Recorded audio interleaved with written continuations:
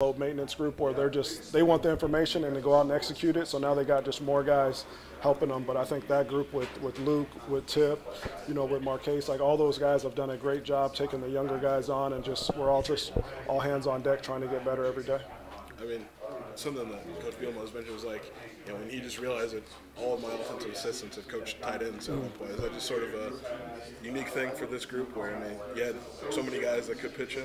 I think it is. I think you coach so long, everybody's coached a different position, but you know, I think it just worked out in our favor where we all know a little bit to, to help those guys better when needed, and and we're and it, I think it's anything like if it's a receiver, you know, we all know a little bit about something that we're just trying to leverage our, our knowledge about football just to make ourselves the best team that we can be.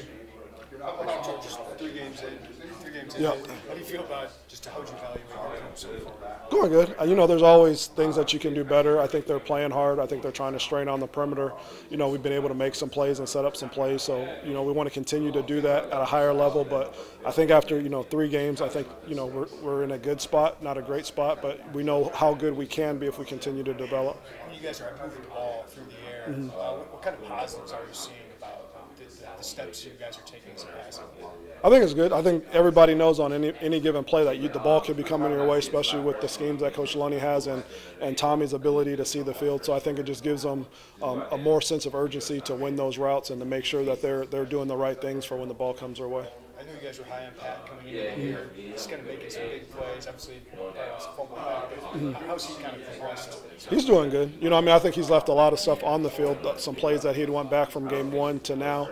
Um, but I think the, the, the progression that we've seen from the spring to now and the way he practices and the way he prepares, you know, I think that's just a, you know, the, what we're seeing on the field is just a result of his attention to detail.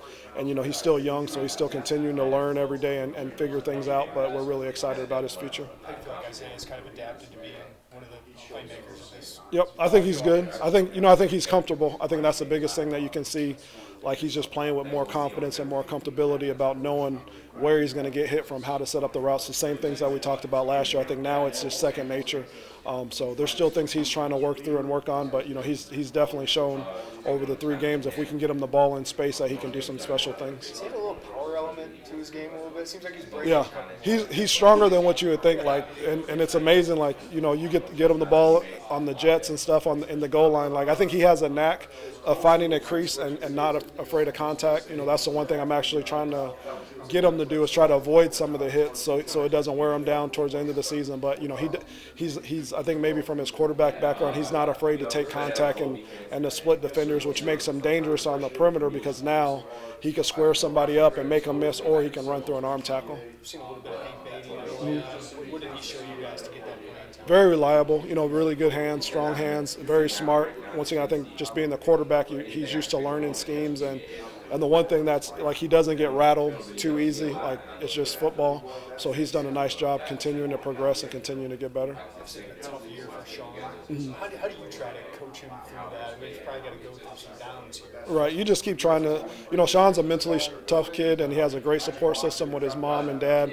So you know, just just everybody has those down points. Sometimes they happen in the middle of your career to your end of your career. So, you know, we're just banking on this is at the beginning, and, and after we get through this this hurdle, we're just going to continue to to get better. You know, he's a talented player. He'll be a talented player when he gets back.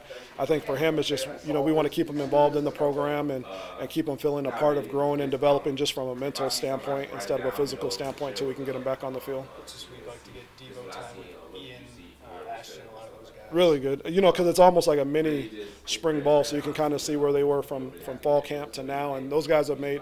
We've had all individual meetings. Those guys have made so much jump from the beginning of the season. So, you know, with the new rules of playing, you know, guys in four games, you can kind of project out like where you can get some guys some game reps and get them out there. And those guys are definitely on the track where we would like to at some point try to get them some live action just so they can feel it, and then we can kind of see what they do in live action. How big of a carrot is that for you guys? It's good.